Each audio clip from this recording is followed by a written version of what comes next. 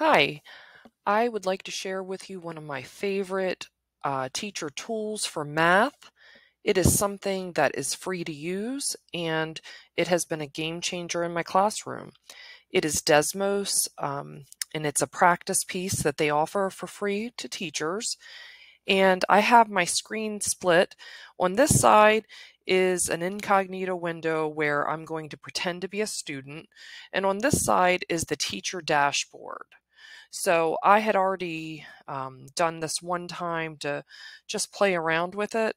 Here is the code. I'm going to click on that so that you can see how you can show it to students in a larger view. I will go ahead and put that code in right here.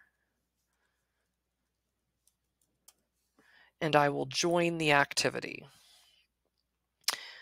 I'm going to, I usually have the kids sign in with their Google accounts. That way I make sure I have them in there and they don't put in a nickname. But for today, I'm just going to put in my name and I'll say go. And this is what my screen looks like. I'm going to go ahead and get rid of this so that you can see the teacher dashboard and you can see how now we have two students that have logged in and I will begin the problems. So the first one is a numerical input where I have to put the exact answer or it tells me it's wrong. I am actually going to put it in wrong right now just to show you what it looks like on both sides. So I'm going to go ahead and put that in and hit submit. And over here, it tells me that my answer is incorrect. And over here, it has a dot, but if I go to the next slide, it will put an X on the teacher's screen. So they know immediately that the student got it wrong. Um, I sometimes have students where they will just keep inputting stuff until they maybe get it right.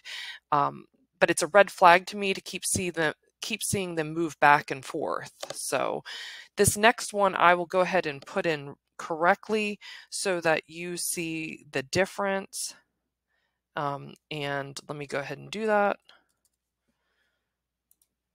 And on this one, it tells the student that it's correct and it lights up as correct right here for the teacher.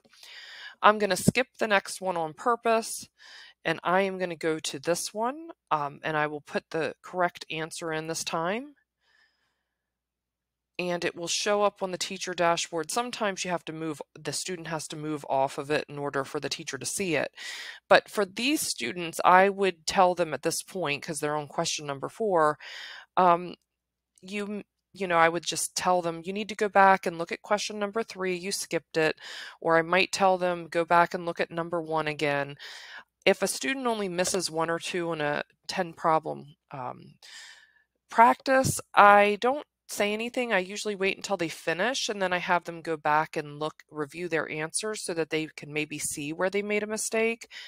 But if I see a student get two or three um, questions wrong in a row, I know that student needs attention right away.